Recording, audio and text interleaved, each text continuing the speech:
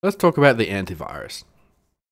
The antivirus is used to scan and remove pesky to defeat install type malware that simply cannot be deleted with the terminal. The command AV is used to start a virus scan. And once completed, it will leave a log on the target for the scan revealing how many viruses have been removed. The antivirus takes a set amount of time depending on your prestige level and or by the amount of viruses that you're trying to remove.